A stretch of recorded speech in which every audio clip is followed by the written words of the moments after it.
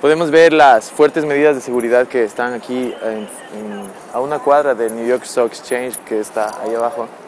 Uh, está rodeada de policías, hay muchas vallas. Uh, realmente la situación está muy tensa. Yo estaba tratando de, de eh, reportar en vivo con Venezuela desde Liberty Park y no se pudo porque la señal fue llameada. Estábamos a punto de ir al aire y se desapareció la señal y parece que hay algo mal con el teléfono, no agarra el internet, así que realmente no hay otra aplicación que fue llameada. Ah, sin duda se está, ganando mucho, se está gastando mucho dinero y mucho esfuerzo en tratar de mantener esto en, en control, pero se les hace difícil porque son tantos individuos y que cada uno toma acciones diferentes, están en toda la ciudad. Así que es difícil cubrirlo y para la policía también es difícil lograr controlar este tipo de cosas.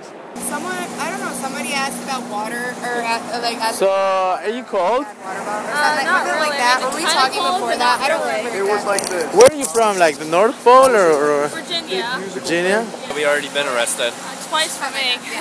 Twice. Twice? Yeah. Were you here in the in the cabin when they took it down? Yeah. Yeah, we were here. That was our second arrest. Um, I think it was obnoxious and unnecessary. Um, they came in saying that it was a fire hazard, so they just wanted to clean it out. Um, they said that we can come back, and we are back, but we can't have tents and all that. Um, it was very unjust. They said they didn't have a real reason to come and take it down. Um, our rights were taken from us, and they treat us like animals. They really did. Was there a group of guys in there, or were you alone? Or how and no, we didn't. But there's 20, 30 guys in a cell, and probably like 10 cells or more. So about two, 300 guys. Yeah, and that's not even the girls. They were held somewhere else. Uh, I feel disgusted the, about you know what's going on with our country. It's disgusting.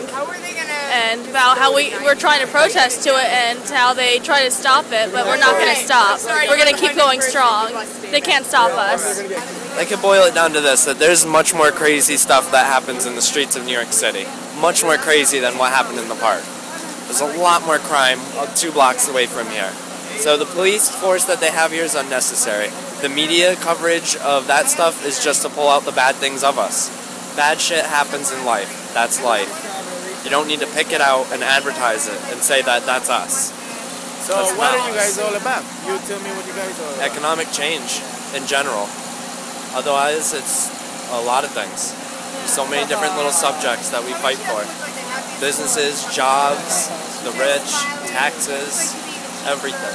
Our rights. Not free. We're not free. We're not. That's exactly it. And we're very peaceful too. So, what are you guys' ages? What are you age? I'm 21. I'm 21 too. And you're not called like that?